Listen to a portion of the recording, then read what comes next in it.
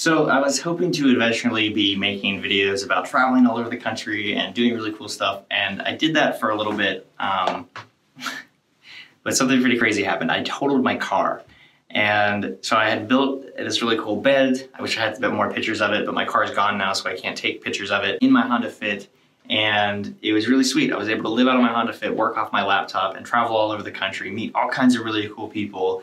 And it was absolutely the lifestyle I wanted to be living. I wrote a book, it's on my website called uh, Digital Nomads. It's about how to become a digital nomad. And the irony is, is that I'm no longer a digital nomad. Um, after the, my car wrecked, I kind of had uh, an epiphany that I was getting already exhausted from traveling on the road and not being around people. I really thrive on connecting with people individually, and it just wasn't allowing me to do that. So I now am living in Omaha, Nebraska. Just wanted to give an update here to my YouTube channel. I haven't been posting very much lately.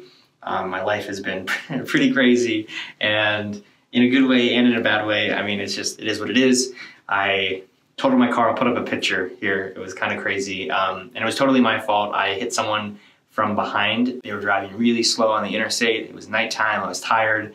I really just wasn't paying attention enough. And all of a sudden they were right in front of me. I luckily grew up in Pennsylvania and I've swerved out of the way of many deer. So I swerved out of the way and uh, avoided a really bad crash that could have hurt both of us really badly. Uh, no one got hurt besides the absolute, you know, wreckage of two people that he lived in his car too. So both of us lost our homes that night, and that was pretty devastating. I ended up stranded in Moab, Utah, which is a beautiful place. Some of my stuff is still there in a storage unit. I stayed at a hostel called the Lazy Lizard, met some really awesome people.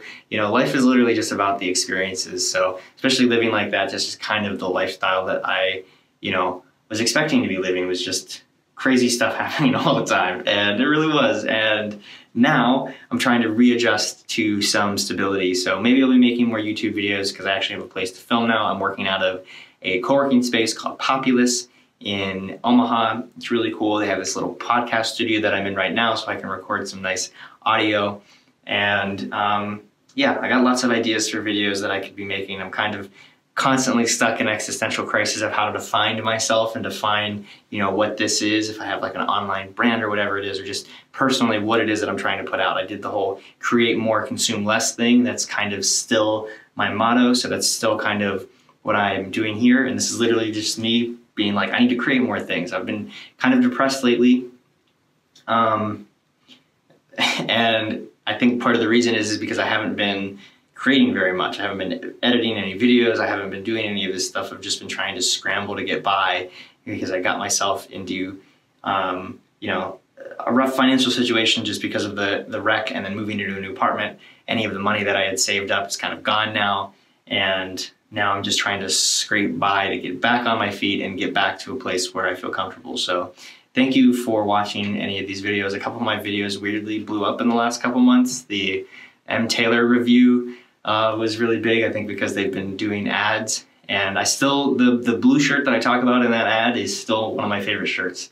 Every other piece of clothing I've gotten through MTailor has fallen apart eventually, which what can you expect for like a $60 piece of clothing? But that $60 piece of clothing, the, the blue um, heavy fabric shirt is great. I'm actually thinking about buying more of those. If you're interested in trying out MTailor, I'm gonna put a link down in the description below. That's not the point of this video at all.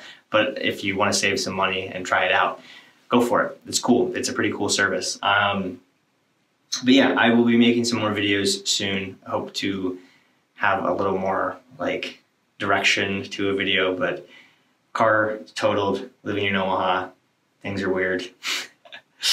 and, uh, you know, thanks for watching my videos sometimes. I appreciate you. Bye.